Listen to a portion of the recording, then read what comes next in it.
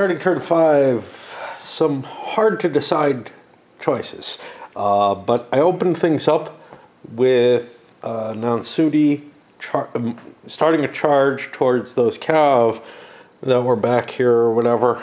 Well, they countercharged because getting hit with a charge sucks, I guess. It's hard to tell. It would be in the forest where both would be at value one. Uh, which might which probably would have been better. the countercharge turned out being an attack of one to two. Now value one means steps matter. And it turned out I had taken some hits. I had like five steps. It would have been six to five. That would have been a much uh, a much better result, I believe. Uh, it would have ended up being on the one to one, but it would have been heavy cav with a leader. Would have been at minus three on here, probably pretty good. However, I had the oh can't let myself be charged without countercharging, so I countercharged and ran up against the heavy cav. Bad bad numbers because now the melee value comes into play, and actually I got an elimination result. Um, actually, it would have been one on one. It would have been a plus three. So, you know, if it had been the same kind of die roll, it would have gotten me around a six, which would have been no damage to the French and a disorder to the Austrian Bavarians, which would have been uh, certainly much better for the the, the uh, for the Austrian side, but still essentially the same effect. I've cleared the, the path now. Pretty much the key to the whole thing. Now I could turn my artillery, start smashing into this. The majority of the Austrian forces have not um, been operating. We do have a force over here that's some threat to the flank of that line of guns. Friant, I mean, his forces are deploying, but they still haven't been brought into play, essentially. um, this scenario is one where I don't think you can fiddle around. There are no special rules for it, but I don't think you can fiddle around with the special rules, uh, the, the optional rules for the Imperial Guard in this. They're necessary for this battle. I, they're all, the battle has already been lost at Leipzig, and they're trying to cover the retreat um, here, and I, I, don't think you can treat them as anything except just normal units. Um, not give them the huge penalty that I think is intended or bonus that is written into the rules for misusing the guard. Um, over here, the protection I have is I have Sebastiani's cavalry uh, up here, which makes it very, very difficult for the Austrians to come forward. They will get their infantry countercharged all over the place.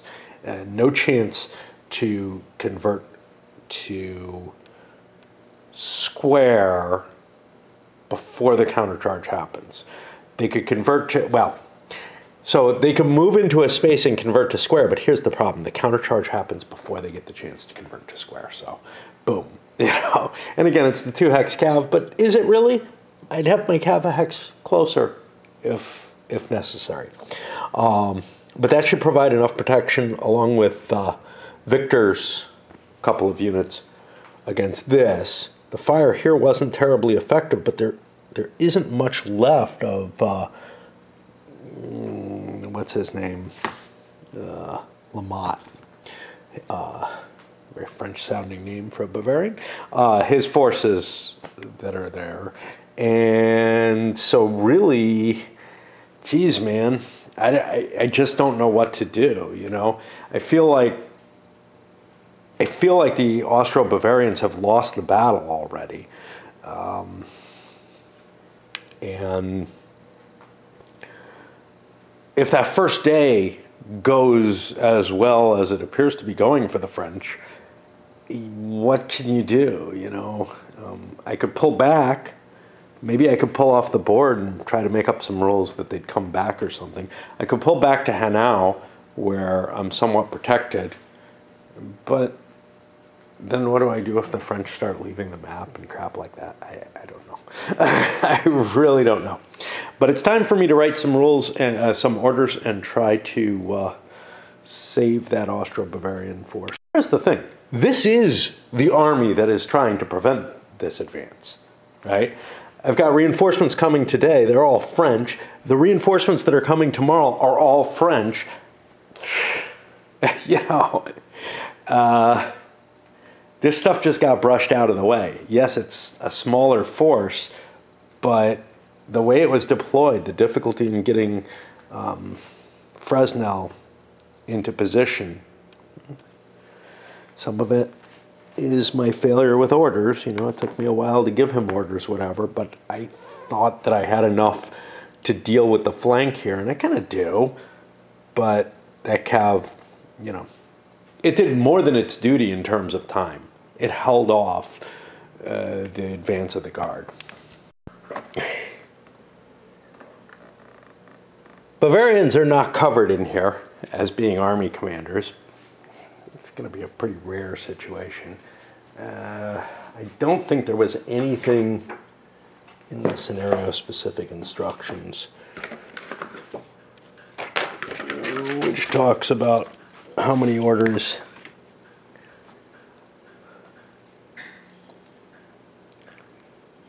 yeah I don't see anything. Oh wait turn 8 we get some Austrians. Oh okay we get a couple Cossacks so not all of that is up um, Cossacks and partisans um, so it's not as one-sided as it seems, but that's not stuff that's going to turn the tide. If you take a look at the morale values on those, those are sixes. It's not the kind of thing that can hold the line very long. Um, I don't see any rules about orders there. Uh, I can't imagine a Bavarian leader being considered better than anyone else in particular. So the fact that the Austrians Sweden and Spain get one order per turn, and Russia. Prussia and England, but Prussia eventually gets better order writing capabilities. But I'm guessing De Ried only gets one order per turn, which means it's time to start running around and pulling people back, I guess. Now, this is where uh, I find the defensive uh, situations more difficult than anything else. There's no, that I remember, um, there's no kind of, oh yeah, we're all just going to fall back type of order that you can give across the, the army. Now, there's the failure of army morale, which kind of does that, but that's not what you want because your whole army is disordered pretty much then. So, what we're looking at is I've got to walk from person to person or send written orders, one per turn, which may or may not be accepted, from person to person to start pulling these units out of here. It makes reacting on defense really, really difficult. It's a reason why Dean Essig's rule sets, while they had defensive orders in them, kind of pulled back from, like, they were put in as an optional rule and I feel like the the later scenarios that were written for CWB at least were more and more along the lines of yeah, don't use defensive orders. Units have to be able to defend. Um, I never found having to hold your ground being difficult. I found the difficult thing being maneuvering from place to place, which you still needed orders for. So in this case, withdrawing is the hard part That's the number of orders you have to write. So now I have to write orders for Klenau. That's who I'm standing on. But I got to figure out what the hell I want him to do. You know, I have no idea what the French attack is going to be. And this makes some sense, you know, right? I have to set up my defensive positioning, but that's hard to do, especially as you're doing it piecemeal. I'm not setting up a defensive line like I would say at the beginning of a scenario or something. I'm trying to predict what the hell I'm going to do with Fresnel, or no, in this case, Klenau, um, to try and do something here. and what exactly, that's hard to tell. So, victory conditions on the other one have to do with this hex. Controlling that and all Marmont's units leave by the road. Marmont is this command coming in here, I guess. Uh, but victory conditions for this part have to do with no Allied units north of Kinzig, which is just goofy because they can jump across anywhere on the board and get themselves victory points. Um, and everything else is just based on casualties versus French uh, units exiting towards Frankfurt. And then for the Allies, if they leave by Frankfurt, an Allied unit doing that gets them 20 points. I don't know why. Any unit, any unit on the road from Leipzig to Frankfurt, that may be a little harder. It would actually be possible to patrol this whole road. Um, is worth 20 points. Hanau itself is worth 20 points. So my guess is I can probably run someone off the road and get Hanau, hold, hoping I can hold it, which gets me to 40 points versus whatever the French can gather off of casualty, you know, the better casualty ratio. Because there's basically no way I can prevent um, the Austrians from jumping across. So I think, even though this is the stupidest ass person to do this, I've got this feeling of like trying to escape uh, off Frankfurt with him. I don't know. The effect of all of this is the Bavarian Austrians are trying to follow their attack orders that they had, thinking I must be on the attack. Most of the French force isn't here, and I'm supposed to be able to, you know, hold things and whatever and have some sort of survival here. And Hanau is not that important, especially in the two-day scenario here. So this this has to be the time when I can. Well, hasn't turned out that way. So the orders I gave were to Klenau, and he's uh, he's not got them yet. He's actually going to go back to Hanau. I think that's the safest. Everything else I can kind of try to figure out um, around that. Uh, certainly going here is too far. Trying to position people here in the woods, you know, that's a way to get that 20 or 30 points or whatever really easily away from the French because fighting in those woods is probably just about impossible. But, um, but Becker's still had a turn before he can abandon his orders. So I pushed a little bit. I don't want to face the cav. Um, we're going to see some fire there. Lamont is under orders and I have to get him out of here. Most of his units are disordered so I can retreat them back. But there's a couple of them that are having to cover the rear guard. I'm kind of cheating with Spleny. He's almost a cav corps except for this unit. Um, so I am withdrawing him kind of from his defensive line. Otherwise, he'd have to try to hold something here, and that just looks like disaster. Um, I can certainly call off his orders, but that still doesn't let me pull back, you know, right? Uh, and um, who else? Well, Fresnel is coming across the bridge now with his planned attack to get himself massacred by the artillery. And this is so here's the thing. I feel comfortable with the way these orders work in, in CWB, certainly. A little bit maybe a little weaker on, on the NBS side of things simply because uh, probably the integration of the cav and whatnot. I just don't feel comfortable that like I understand what a unit's capacity to exist is here. I mean, things just dissolve so fast under that artillery fire or whatever that this system. Uh, I don't know. There's aspects I liked about it. I certainly think I had fun with the Waterloo scenario, but I'm growing more and more down on it. I don't know. See routing coming from the artillery fire back there, trying to skirt the river because uh, I can't cross it with a retreat. But I guess I can move closer to the enemy. I don't know. Things are looking really, really bad for the uh, Austro-Bavarians now. Here's the problem. I have to look up what the um, what the percentage is, and I don't remember where the fuck that is. Army morale. 60 step loss for the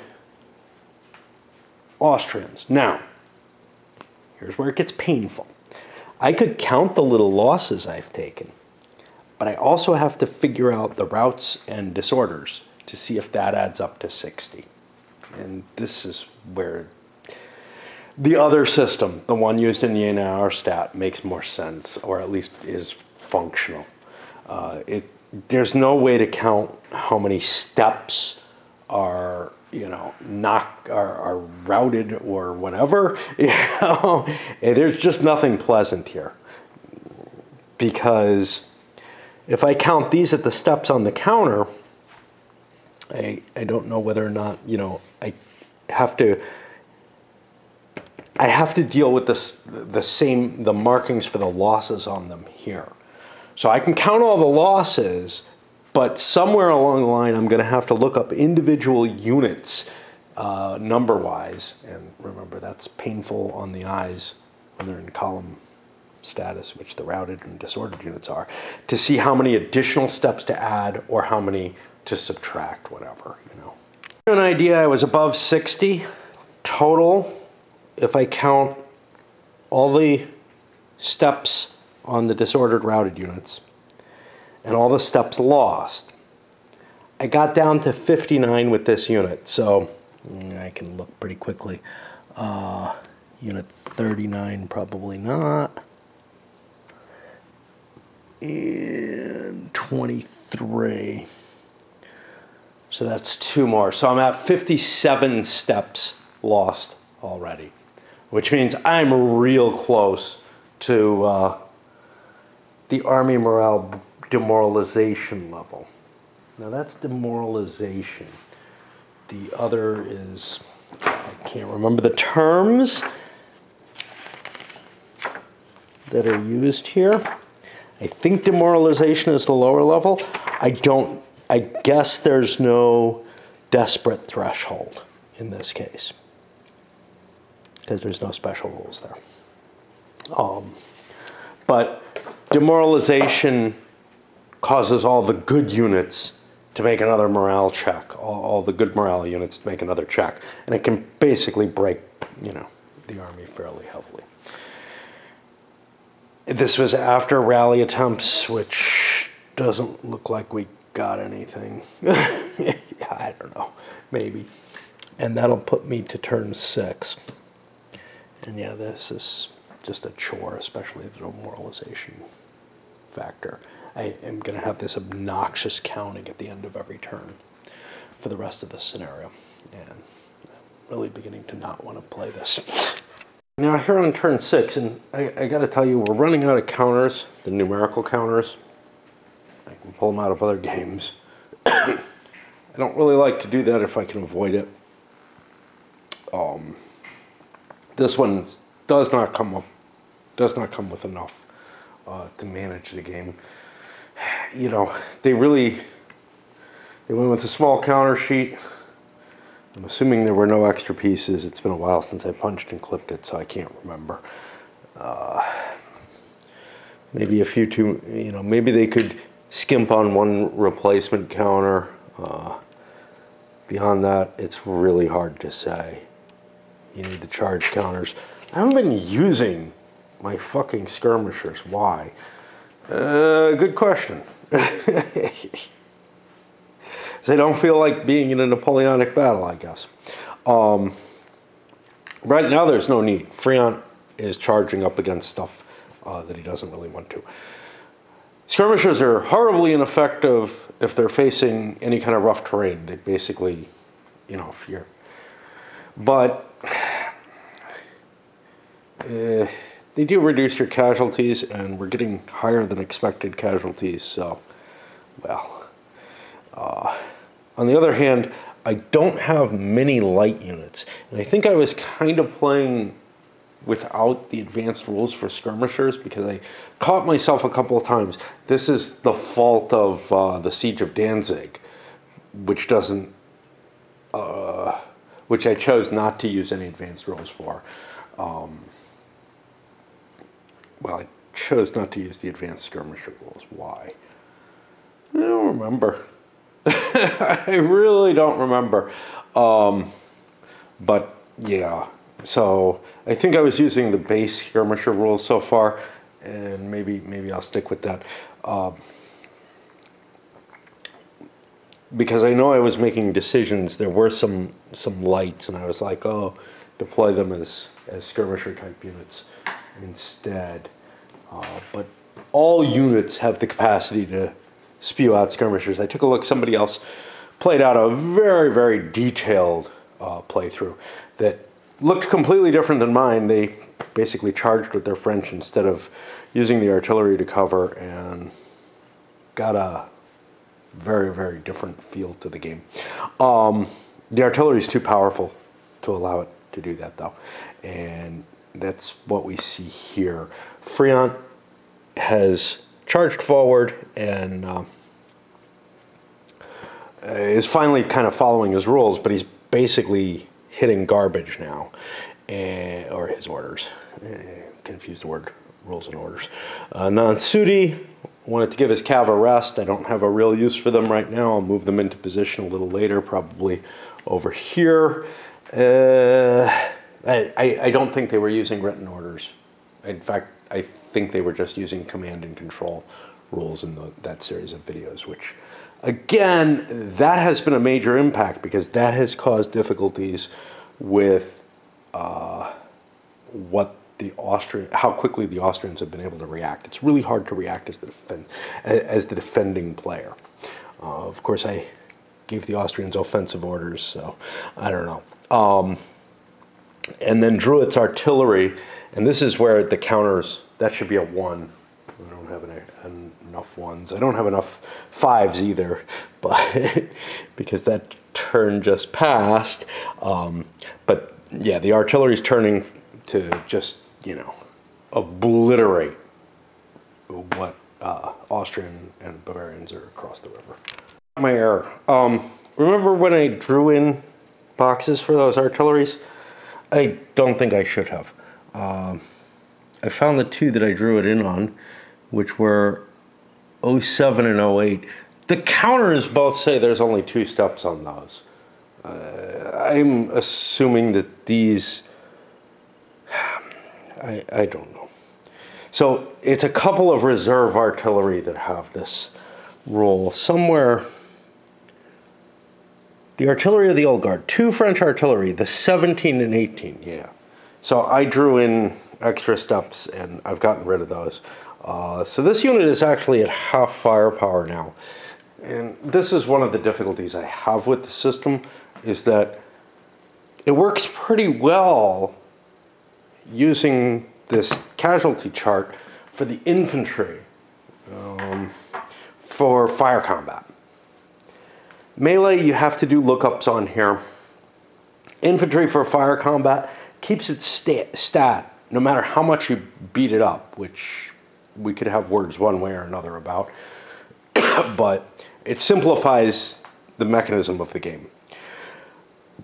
Uh, and there's a little bit of a reason for it, which is that it's essentially frontage and capability of the firepower in the front more than anything else, and that a unit reduced enough, uh, reduced most of the way, still provides the same frontage. But I'm not sure about reduced down to one step. You know, what you generally see is larger units have larger firepower, so it doesn't quite work that way for line formation. Um, also, you would be able to put more frontage in play with additional units, and you're only allowed to fire out of your top unit in the stack. So it it just doesn't doesn't make sense to me. Although you wouldn't create too much density. So, um, but a couple of smaller units would be able to get the firepower of a larger unit in that case. Anyway, I prefer the NBS system for that. However, that requires lookups for every fire combat. But for artillery, once artillery starts taking ca- real casualties, you have to look up every artillery fire on the sheet, and it's easier to forget. Um, anyway, all I did was the uh, uh, coalition firepower, uh, fire phase. Uh, I have not done the offensive fire phase here. Something else, I forgot to fire this artillery, so I'm going to fire it as the French are firing. Um, but they blew away those Bavarians that are standing there because of the, the low morale they have. They're not facing the infantry of the old guard, but they're still shitty units. Um, out of counters, and I'm using like a 7 as a 1 right now because whatever. I'm out of the 5s, I'm out of the 1s. The 5s look like 10s, so or have 10 on the back, so that was kind of helpful, but now I got to remember this one. Um, but this particular unit, 29, artillery 5 is shown as three steps on here. It's not on the counter, it's a two step. There's no special call out about a three step Bavarian artillery. So I'm going to treat that as a misprint. Right now, this sheet is going to get thrown away. I've already pen marked it. I, I, I did the pen markings mistakes here. I got to correct that. That's fine. But I also accidentally marked off a casualty as a pen, so it's kind of unusable anyway. Not going to recount. Um, the Bavarian army, the Bavarian Austrian army is clearly taken more losses, routes, etc., from the end of the last turn, and uh, they were three points off. They've clearly taken way more than that. There's units that just disintegrated, etc. We had the routing here. So I'm going to hit them with the Army Demoralization Rule, which sends them flying. We have loss of units, got me some of my counters back. So right now, I think the only illicit counters is a 10 here. I think that's the only one that doesn't belong. What's this one? This one is a 6. Let me make sure there are no other ones kicking around that shouldn't be. I think that's it. The game's double multi-use of counters, etc., causes additional problems. Uh, if you don't play with the fatigue rules, they're not a big deal, but it does start to increase the uh, confusion value of it. The problem is, yeah, the base game is, you know, it's like playing a Napoleon at Waterloo system. It, it's a little bit more. It's like a very, very light um, firepower minis type game. And I, indeed, the only time I've played Napoleonic minis was about as light as the base game of this. Um, that was quite some time ago, back in the 90s. And I was really unhappy with that system, but the group I was in liked lighter games for the most part. One exception that we had fun with, which was uh, Age of Reason stuff. I, somebody just managed to bring that game to the group somehow. But different factions within the group. Um, the group that I was playing with most often out of the grouping was uh, very much into very light stuff. And we played a bunch of light Napoleonics, and I was pretty unhappy with it. And the Civil War stuff they did was light too, but who cares? It's Civil War.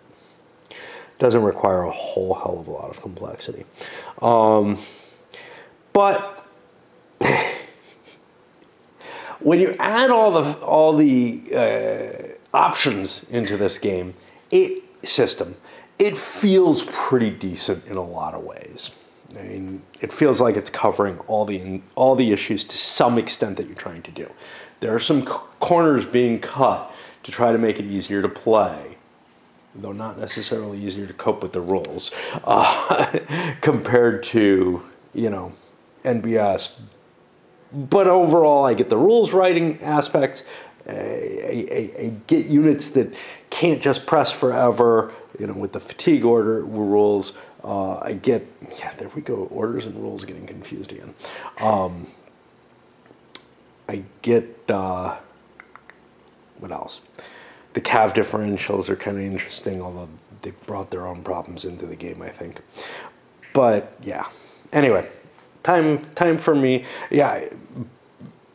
But the thing is, the representation of all the information that you need overloads the numeric counters, uh, and it just it just starts causing real real issues. Part of me says I should just say screw it, and I think I've done this with some other games, but not many. I don't sell my games.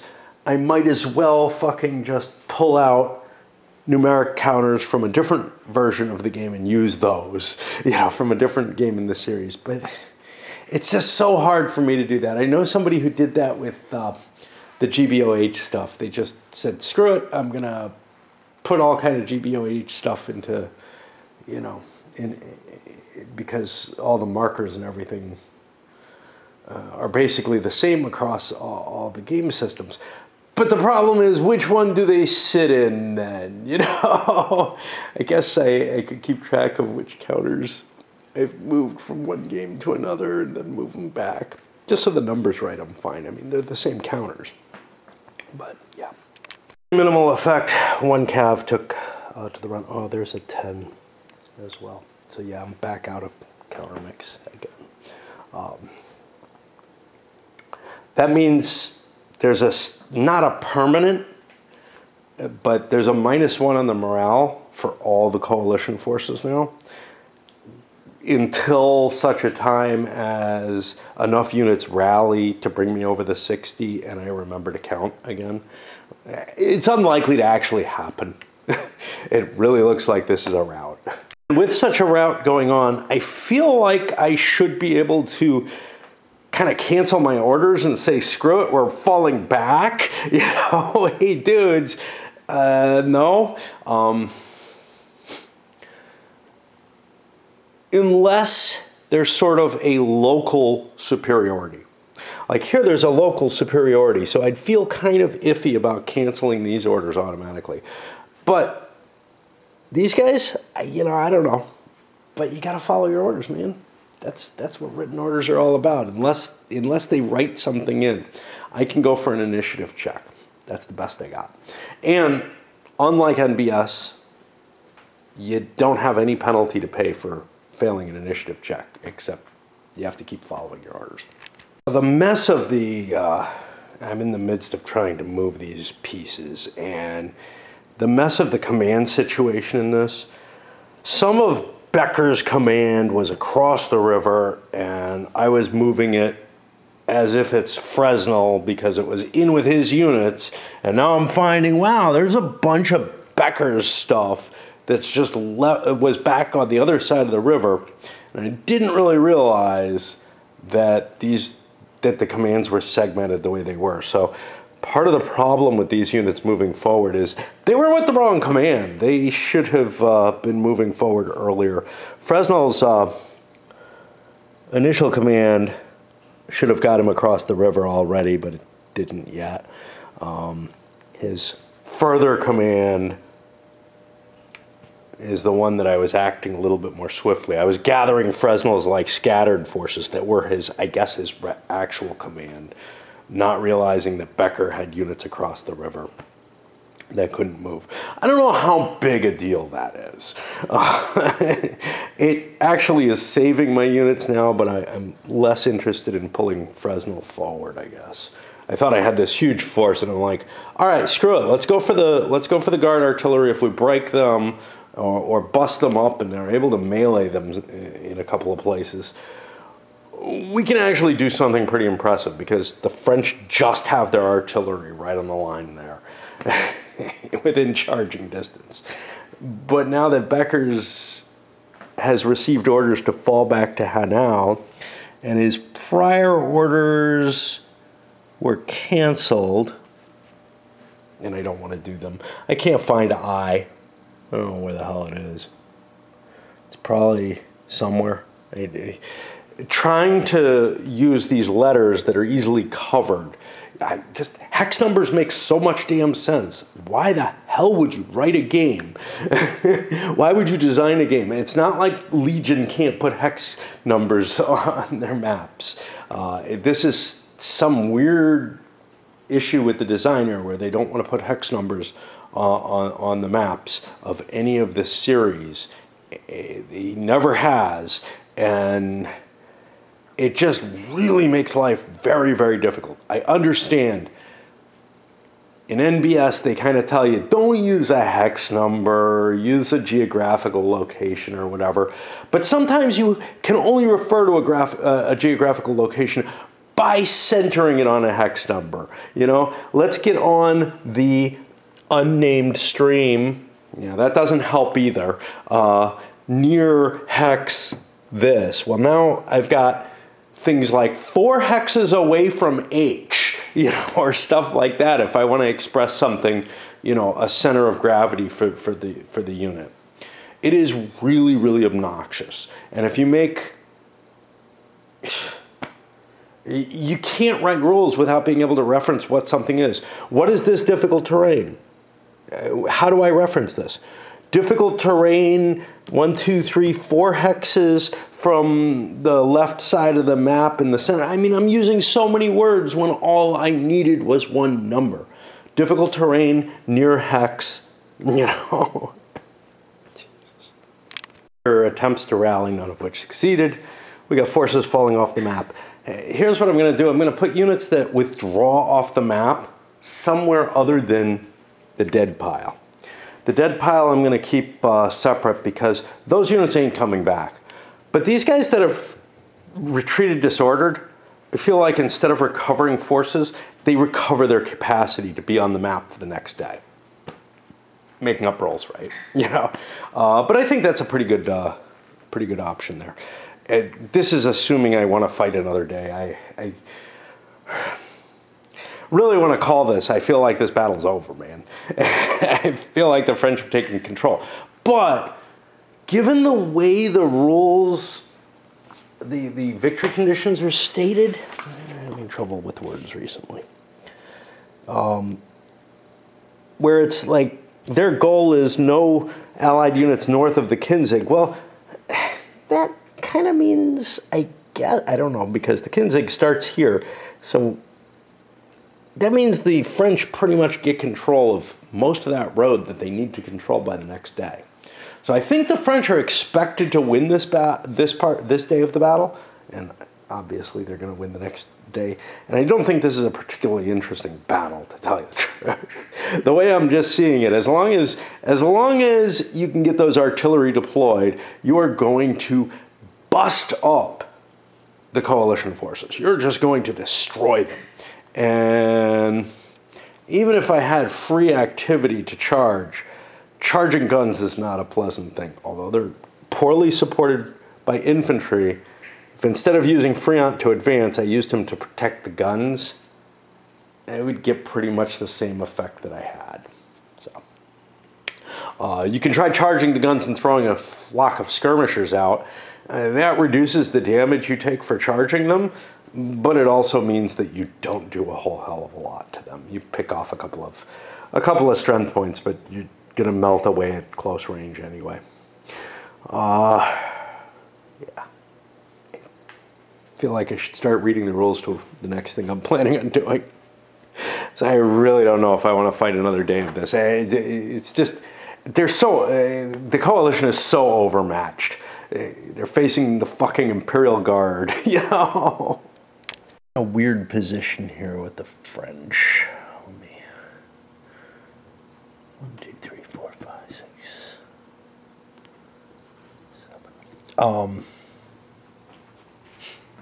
I've moved my units. Nansouty moving his cav forward to pursue down here. The only thing opposing me that's alive right now is cav. Uh, giving Friant some rest. I figure I can. This is more problematic in NBS than it is in this series, but I figure I can kind of rest as I need to. and in this case, eh, he was he was at uh, he was already taking morale penalties, so being allowed to take a short rest makes sense. I don't really have much goal. I'm supposed to push to the Kinzig River, which I think I'm close enough to. Um, but the problem here is Victor. Victor has orders to march out to try to attack this space. Well, that's clearly no longer applicable. This isn't a matter of, oh no, that would be a disaster, although it would. Uh, but it's like, yeah, that territory's been taken over. I feel like that gives me a right to cancel the order.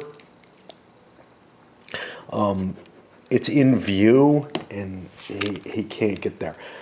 It doesn't hurt that this was an order that I had from the beginning of the game. and normally you can cancel an order after you've been pursuing it for three turns, but I put a time delay on it and now it just doesn't even make sense. The time delay was Friant engaging. Friant didn't engage until last turn.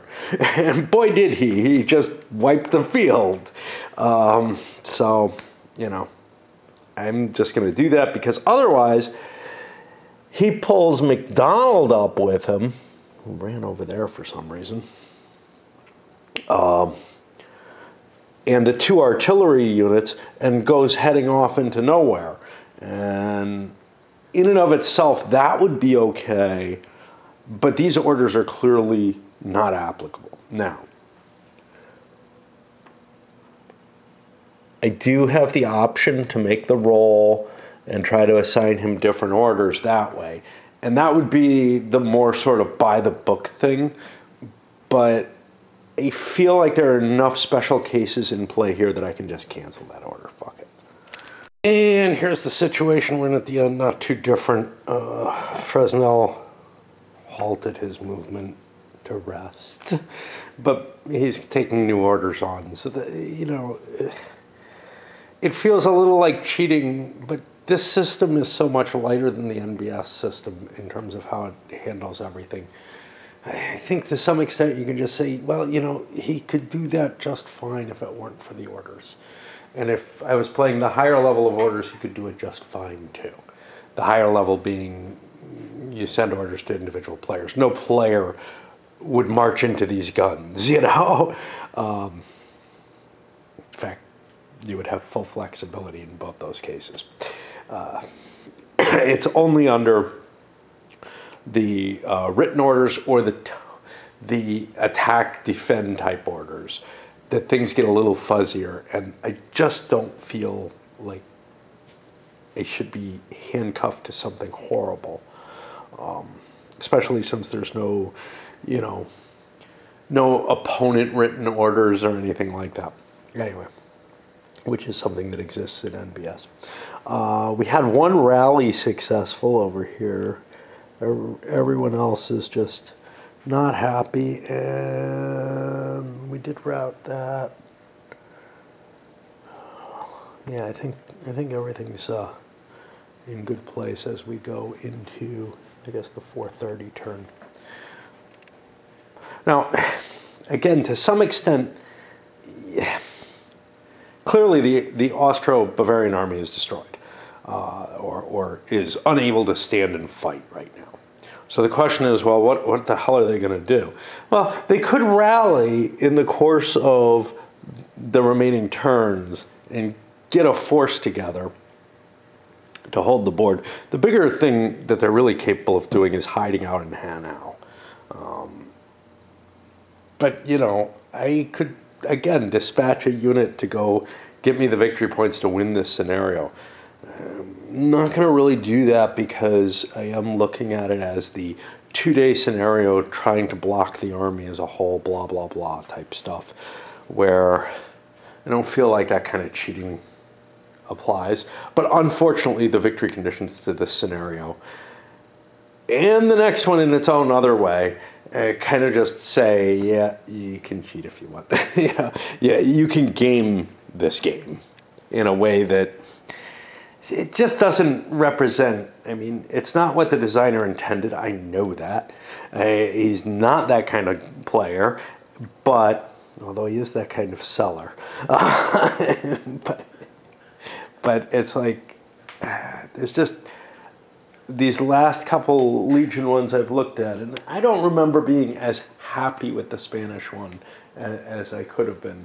Um, just aren't living up to what the effort on the scenarios was in some of the earlier ones. I remember having problems with the Waterloo thing too, though, getting it all to mesh together. But that's such a glorious thing and such a big battle and so important, and you know you're going to get a good battle out of it. That like it feels more worthwhile to try to figure the shit out for something you're going to play for a month or whatever. For something like this, honestly, this is an afternoon game or whatever. You know, it's it's not a big battle. All right, push through the entire turn there. Reinforcements coming on. Some Russians over here, Cossacks, and something else. Uh, I think infantry actually. No, it can't be. Way too fast. Oh, what the fuck there? Oh, 01 and 02. Well, they're marked. No. They're marked with the person who's in charge of them. But they're shitty, they're fast. Uh, exactly the same as the Cossacks. So we'll call them Cossacks. I think one of them's not. And Marmont showing up, Napoleon's gone over to go talk to him, moving on slowly because he's trickling in. Of course, he won't have time to affect this battle. the battle's going to be over before I can get anybody off on the Frankfurt route, uh, which is a big deal because I think I would disallow units from returning that left that way uh, if that was the case. We had one unit left in that direction. Uh, some more firing happening had actually quite uh, Splayer or whatever here has done quite a bit of rallying, but uh, I am facing a time limit. One thing I noticed that's painful. This they fixed in the Germany battles. God, I don't know which one was first. I thought that one. I don't know. Um, these are fours. They should have nines on the other side. Neither the sixes nor the nines have any underlines, so they look exactly the same. And you just got to remember. or draw on your counters, you know, but I feel like it's not worth the effort. You know, it's like, yeah, I don't sell my games. I probably should, but I just don't think I'm to ever dig this one out again. Uh, my life's not that long. And another full turn out of the way. Nothing too exciting happening. The Austrians trying to get control of their route, basically. Um, and rallying some units, trying to make sure that we hold Hanau. Uh, if we can keep that, I feel like, yeah, we can maybe contest the next day. If we can't keep that, it's not so certain. Now, one bright spot in my little world, world down here is Spleny. He, he's been rallying his units somehow, which is kind of weird. Um, these others not doing such a great job on the rallying, but there are more units that are in good shape over here. The danger routing units could leave the board, but they can come back for the next day by the way I'm judging things. For the there was very little fire this turn because Drouot uh, flipped his artillery. In order to move it forward at all, basically, he had to expend more than half the movement point. He had to expend movement points uh, so that he could not um, unlimber. So a couple of guns moved forward a little bit uh, more decisively than that. Napoleon couldn't figure out what to do with Marmont, so he's heading back to go have a talk to Drouot uh, because I don't know what the hell. I had to resort to those. I don't have to keep resorting to them. Um, I could use something like this just for the fatigue levels, and it would actually maybe be better. The problem, of course, is that it's when the fatigue hits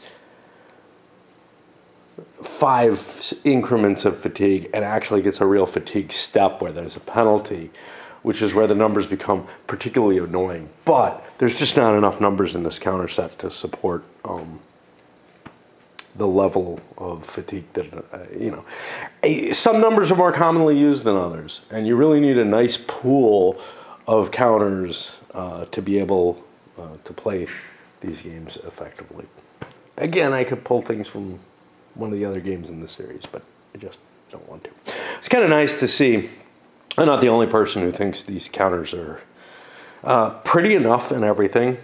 I think I may be the only person who thinks that the artillery and the cav are too easy to uh, be uncertain of what you're facing. The, the, place that you can tell is the number here, except for our, uh, uh, horse artillery. I'm trying to look to see. So it just it looks too close to me uh, when I when I take a quick look at what the the infantry and it may be even closer with the horse artillery because they may have horses in front instead of. Uh, it may just look less. I don't know, whatever. But the number doesn't help you in that case. Um, and that, that's been sort of my continuous uh, problem with this. But the other thing is, it is fucking impossible to read the number on this, uh, the unit ID. I mean, this is like looking under a magnifying glass. Uh, was at like six times or something, you know. So that's a, that's a pretty strong magnification level, and they're absolutely vital to indexing into here. And other people are at least agreeing with that. Um, I made a mistake though. I mean, can I kind of this this game came up or this series came up on a prettiest counters type of thread, um, where I was talking about and and this is the problem. I can't always remember things well. I was talking about the Dresden, the uh, uh, the La Bataille series, and honestly, those counters actually are very pretty, and I think I said so when I was playing the game. Um, they're a little hard to tell what's going on. Uh, the backside of the counters is dull as hell, and you can't tell whose is what uh, because it's just like gray or kind of white, and they're close enough in color. You get a little tobacco smudge on it, and uh, or a little bit of handling, and they look exactly the same. Um, but uh, those actually have numbers and values on them, and they're fairly clear. There might have been a few things where I was like, eh, I might have had some issues with some of them, but uh, I was I was conflating them with uh, the counters from the Red Sash games. I got Summer Scrawla. That's the only one I've done yet. Uh, which I found really were an impediment to the game. Basically, they use that same uniform uh, for the front of the counter as how you show what a counter is, which I find confusing. Um, you're not able to tell formations and stuff like that as easily as you would like to. It's got a lot of it's got a lot of hindrances uh, where the presentation is not giving you the information you need to play the game as well as possible. But in the Red Sash games, there's absolutely nothing of value on the front of the counter except for this confusing uniform because you're kind of hiding the information on the back of the counter. And, uh, I, I, for whatever reason, I thought that Labatt did the same thing. And here we're just wandering off into a random tangent, mainly because I'm not terribly enjoying this although it definitely gets easier once one side kind of routes and all you're doing is chasing it. But um, I'm afraid I'm not going to enjoy what's my kind of rest between this and Leipzig. And then I'm also just like, there's just nothing in life I enjoy. You know, I'm fucking making sure that my brain's not working by watching videos and shit all the time or playing really, really inane video, uh, video, uh, computer games. They're not even video games, just stuff that like keeps me from ever having to think. It's a bad time of year. My wife died, you know, almost a, a year ago. It's uh, coming up about a week, about a week from now, and it's a bad time of the year for me all the time. But I, I'm in that funk that I'm usually in in the winter, and on top of that, I just I, I can't bring myself to exist. push their guns up to the river and start uh, trading some fire with the one artillery piece that's ordered to uh, that's unlimbered. There's a bunch of artillery that's ordered to defend this bridge. Uh, turns out the command, and I don't know because things were so mixed up at the beginning in terms of like pieces with the wrong commands and stuff. But turns out a lot of Fresnel's force, well, the Fresnel, Klenau combined, whatever, uh, is just artillery. And what's not is either under Klenau, sitting here in Hanau, or running away. so there's almost no infantry there to, to, defend this, and that's a bit of a problem. Um, however, uh, nobody's got orders to make their way up there. And Napoleon couldn't make up his mind. He went back to go talk to Marmont, basically thinking, you know, if I, it's late in the game, if I cordon the river, as long as the Austrians don't do something cheap, they're not going to be north of the Kinzig, except maybe here. And I don't know. you know, I don't know what that counts as. They're definitely north of the Main. Is anything, you know, is the west of the Kinzig north of it? I, I don't know. but um, I'm probably going to count it as such just so that I don't have to cheat. Because honestly, this is the important route. And if you got forces operating out here, the French do not have a free free pass to march down the road. And so trying to use logic of the situation rather than following the victory conditions as defined. Um, yeah. Now we're basically at the end of the day of battle. I mean, there we're exchanging artillery fire. I don't know what is going to happen between days, you know, because there's sort of the there, there's no turns or anything like there would be in the overnight turns. I think the choice is if you want to reposition units, you don't get to rest if you reposition units, uh, you get a certain level of recovery. Um, and I'll, I'll, just fake it. But I think what it basically means is the forces are going to sit where they are. How much repositioning would I allow? Jesus, I mean, you'd have a lot of time to move your units, and they're, especially if they're behind enemy lines, eh, they're going to be able to move relatively freely. So uh, maybe just I don't know, reposition shit if you want to. I really don't know. I really don't know. And it feels like there should be a limited amount of repositioning anyway. Like if I don't have my guns unlimbered or whatever, I should be able to.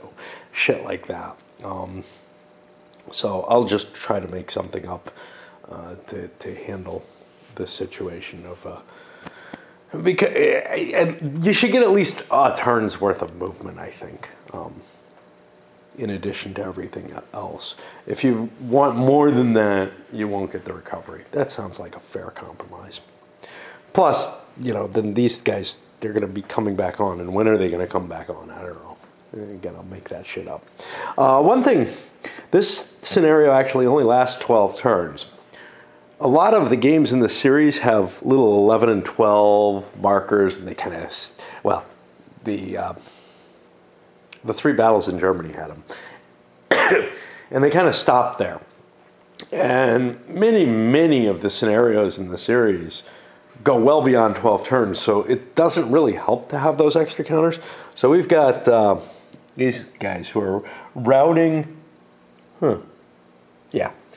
Um, and when you route, you put a turn in advance. So they're routing on turn 11 in terms of when they can figure out their recovery turn and I'm just marking that using ones.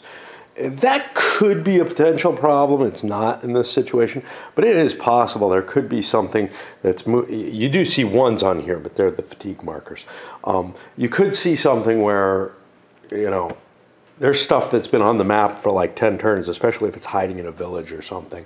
Hasn't been able to rally, but hasn't done anything, you know, uh, but, you know, is, is still disordered and still on the map doesn't just run away. Um, kind of avoided that problem in the three battles of Germany by like, well, the Jena Auerstedt, by just like ignoring the fact that you can cower in cover as long as you like. A hell of a lot happened in the French turn here on turn 11, uh, except running out of counters, you know. Standard mechanical bookkeeping crap from the game. Uh, made a charge against the Cav here. They were unable to countercharge, failures, whatever. One of the units uh, was broken. Uh, step was lost on each side. That's about it. Not much of an impact, but you know. Um, meanwhile, I've kind of halted because I'm not going to be able to take the bridge, and Friant has orders to move forward, but it would just cover the guns and cause all kind of problems. And I'm like, so one of the things is I'm starting to take the game, and I think this is how you enjoy this series. I'm taking the game less seriously. Uh, orders, yeah, I'm going to treat them vaguely, not the way that I do in CWB NBS, where there's really strict rules that sort of cover the orders and they help guide you a little bit better. So I would be able to do things uh, to halt, to slow down the orders. You, you still got to take things with a grain of salt and whatever, but. Um, but there's just so much here that I feel like I'm having to fill in, make up rules for. And I think that's how I managed to enjoy the prior uh, scenario, the prior uh, scenarios in the series. Is that, yeah, you know, just accept that it's light. It's trying to give you a vague idea of what the rules are, but you're gonna have to fill shit in. And I don't mind doing that.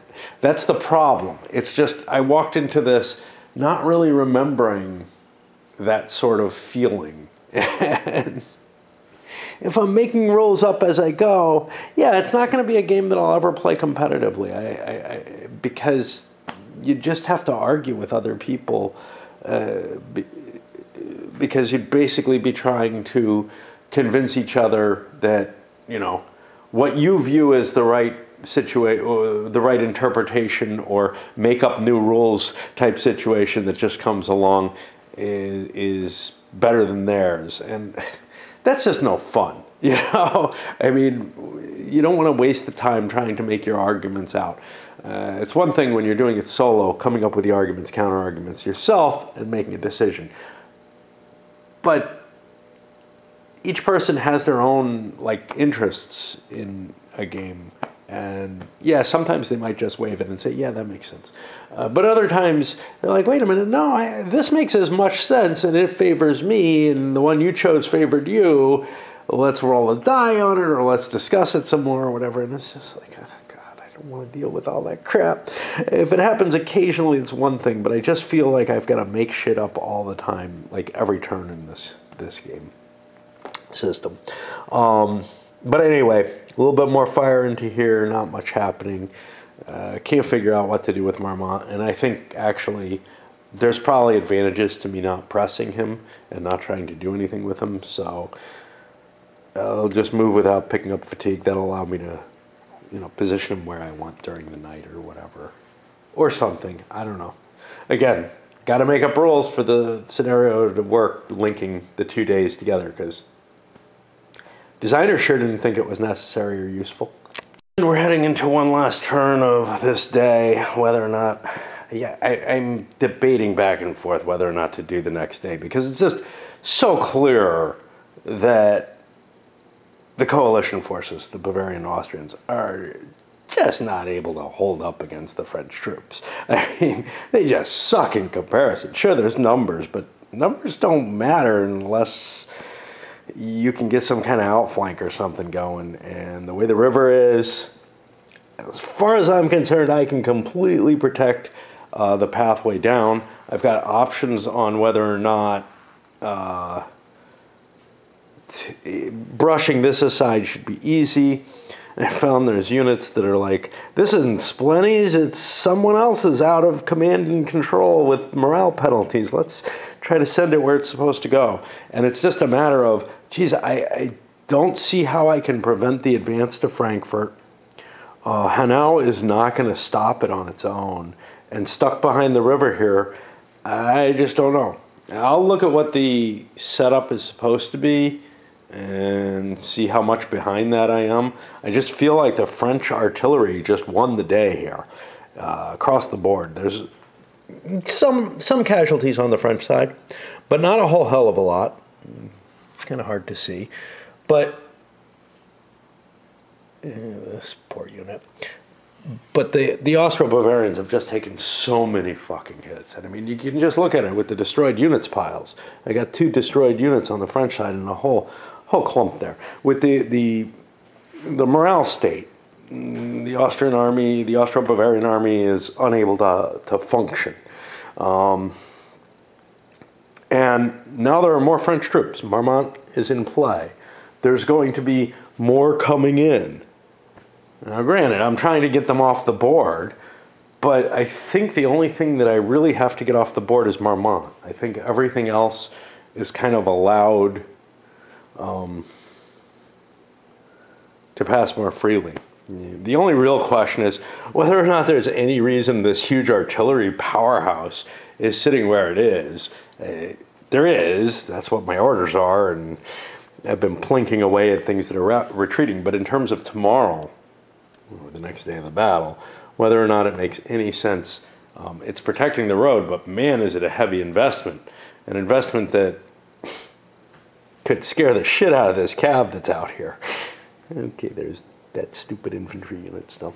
Anyway, I I slept like five or six hours this afternoon. like I went to sleep after work and slept through and but a big part of it is just sort of this I don't want to face anything.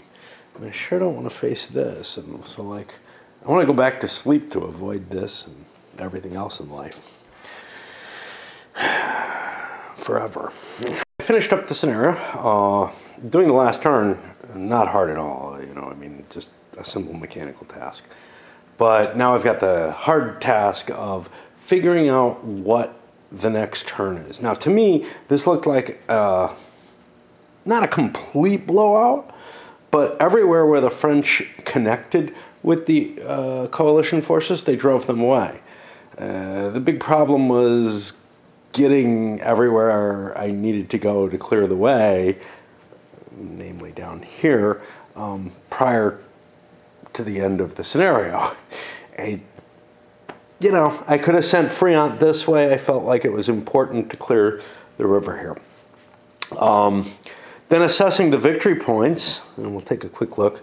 So the river, I'm saying that there are no Allied units north of the Kin, Kins, uh, Kinzig and saying that 30 points goes to the French. If that doesn't, this is a complete blowout in favor of the coalition. Um, and obviously, uh, I could have diverted a unit into the woods, and there's almost nothing the French could do to prevent me from crossing. They would basically have to uh, cordon the river everywhere. Uh, of course, they would cause more losses, and it would be horrible for the next day, and it would make no sense and this whole victory condition doesn't make sense. But since I'm playing two days, I can ignore it today. Tomorrow there's just as bad. Uh, and then the loss is a half point per step. As far as I can figure out, including the units that retreated, that's worth 35 points to the French. So it came to 65. For the coalition, the losses they caused to the French, because most of them were on guard units, uh, actually were quite significant point wise. They caused 23 points of losses. Um, the exit, well, I forgot to do this, but on the last turn, I actually could have two, three, four, five, six, seven, eight, nine, and I'm riding completely on the road, so I get a couple extra movement points. Um, I could have sent this off to give word about what the situation is, so I'll do that and send that uh, up that way and that'll be on the detached units. I, I mean, obviously I've exited units, but they didn't count as good units to exit. Um, so I'll give them the 20 points for that. And then a unit anywhere on the road from Leipzig to Frankfurt, well, we stayed alive on the board with units down here. Friant couldn't get there, the Cav couldn't clear it. So that's another 20 points. So that gives the Austro-Prussian, uh, sorry, the Austro-Bavarians 63 points. An incredibly close game on points. Uh, which means, yes, I will figure out what I'm going to do um, and set up something for the next day. And I will kind of do that as an intro. I was planning on fussing with the decision on whether or not to do that, but given how close the point scores are, uh, I'm saying this, you know, the French failed in their goal, which was to clear this road on the first day. Uh, they got, you know, a minor victory in terms of points, but again, you know, if the Austrians had wanted to, or if this counts as north of the Kinzig, you know, uh, there's an issue. But anyway, I'm trying to play the forces reasonably rather than, um, and again, that's how you have to, you can't take the rules literally in this game. You just cannot. The victory conditions and whatnot. And I think that has been a vein throughout the uh, the entire series. Is that look? There are just some things. Don't take them literally. Figure out what they are, and make up your own interpretation for them. And maybe the game kind of works. I because I do remember early on in, in, even in the Azure Wish with the Azure Wish ones and with the Waterloo, kind of thinking this is more of a game kit than an actual completed game. Uh, they don't tell you which rules to play with. They give you a whole bunch of different pieces that almost sort of work. Uh, they don't nail down the victory conditions well. They don't nail a lot of things down. And so I think the problem is more me, although I have to say that three battles in Germany. Uh, I don't know. The fact that it relies on what ifs for the, the Jena is really the issue. And of course, the siege is kind of a flop uh, as well. So, yeah, I don't know. it, it was disappointing. This one, how disappointing is it? I don't know. I mean, this is not the kind of exciting battle that generally is going to be covered uh, simply because it's this weird rearguard action, eh, or actually retreat action, busting through, you know, something that's trying to slow them down. And, eh, the overwhelming power of the French is I don't know. You know, I mean the goal is to clear that road. It didn't have to happen on day one. And I, I, I, just I just don't know. It's interesting to have this kind of circumstance. I just uh, I feel like when you actually put it on the table and start playing it, it's like, well, you know, this is the kind of thing that you don't expect people to make a battle out of. And I've got mixed views on that, which is like, well, it's cool to give a circumstance that's not normal. I don't know how cool it is. Like, if the representation, if, if the victory conditions were stated differently, they could just express that what the French really want to do is control this road, you know, and the sooner they do that, the better, and that the coalition wants to stop them from doing that and work losses in with that. And it's kind of what it's trying to express, but it's not. It just doesn't do it perfectly. It has this stupid gamey possibility available and all kind of crap like that. All right. I'll figure out what the second day is going to look like based on today's end.